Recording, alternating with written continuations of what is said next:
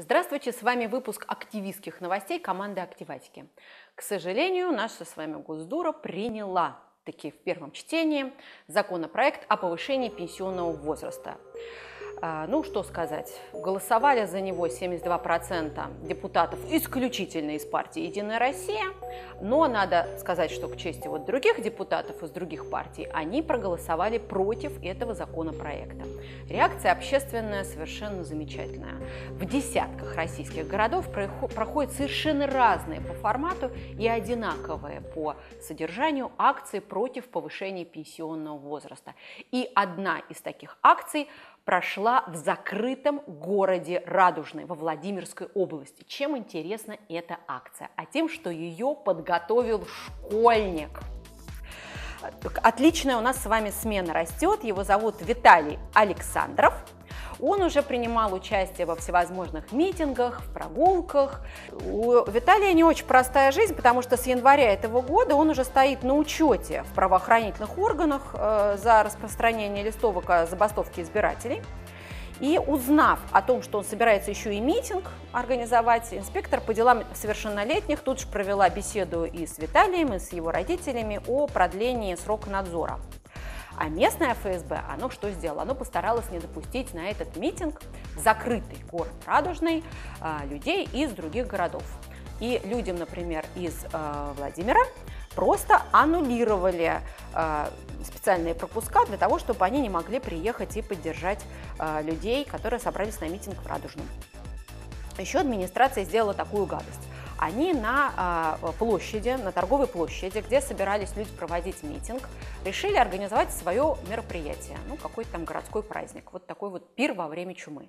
ФСБшники тоже не дремали, они изо всех сил а, прессовали активистов, они пытались их запугать, и проводить так называемые профилактические беседы. Ну, ничего у них не вышло, люди все равно собрались на митинг. Ну, не подкачал и Петербург. А, он свою репутацию города колыбели революции э, совершенно э, четко держит. И 16 июля прошла потрясающая акция «Красная карточка пенсионной реформе». Это была акция совершенно замечательная тем, что, во-первых, она была не санкционированная. Как вы понимаете, в России это вообще двойной риск приходить на несанкционированные акции. И туда пришло просто вот ну, сотни людей на эту акцию. Десятки из них были задержаны, в том числе среди задержанных оказался и сын знаменитого поэта Галича, епископ православной апостольской церкви отец Григорий. А у офиса «Единой России» на а, Конногвардейском бульваре в Петербурге кто-то посадил скелет а, с надписью дождался пенсии со значком «Я люблю Медведева». Вот такая креативная акция в Петербурге. А, в Коме, в Ижме, состоялся митинг, на который пришло более 200 человек. Как вы понимаете, для Ижмы это очень серьезная цифра протестующих. Участники возмущались, как можно повышать пенсионный возраст до 65 лет, если средняя продолжительность жизни мужчин в Коме всего 53 года – а, и к протесту против пенсионной реформы в Коме добавилось еще и возмущение тем, что растет НДС, растут цены на бензин, и э, также в Коме недовольство национальной политикой, э, путинской политикой против национальных языков.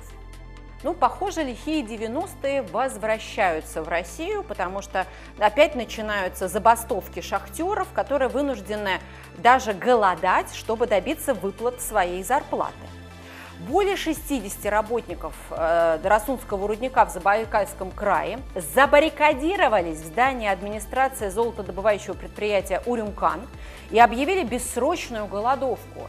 И причина у них на это очень серьезная. Дело в том, что с мая этого месяца они получали, получили зарплату один раз. Она составила 1340 рублей. И вот с тех пор, посчитайте, сколько месяцев прошло, с мая они больше ничего не получали. Понятно, почему люди доведены до отчаяния, почему они вообще вынуждены были забаррикадироваться в здании администрации, пойти на такие крайние меры. Ну вот как неудивительно, местная администрация поддержала шахтеров. А, вот что сказал глава вершины Доросонского Александр Окладников. «Я лично поддерживаю рабочих. Три месяца – это срок большой. Превышает, все мыслимые и немыслимые рамки. Я думаю, что деньги найдут. Любая голодовка у нас дает результат положительный. Ну, честно говоря, мне кажется, что это несколько такая оптимистическая оценка, а, потому что, как мы видим, голодовка Сенцова уже больше 70 дней продолжается, и как-то вот результатов пока что она не дала. Но посмотрим, как поможет голодовка шахтеров. Надо отметить, что вообще шахтеры голодают-то уже не первый раз. В мае 2017 года рабочие отказались покидать шахту из-за задержек зарплаты и оставались под землей вплоть до встречи с губернатором Забайкальского края Натальей Ждановой. В сентябре 2017 вот точно так же из-за задержек зарплаты 50 шахтеров провели голодовку. И после этих событий стало известно, что рудник сменил владельца. Э, Южурал золото продала свои акции, все 100% уставного капитала ООО «Доросунский рудник». Но, э, к сожалению, вот эта вот перемена э, владельца, она никак не, отре... не отразилась на регулярности выплаты заработной платы шахтерам. Ну, вообще, честно говоря, удивительная страна России. Вот как это так? Находятся деньги на то, чтобы провести международные игры в мяч, и при этом нету денег на выплату зарплаты шахтерам и на выплату пенсий. И о победе.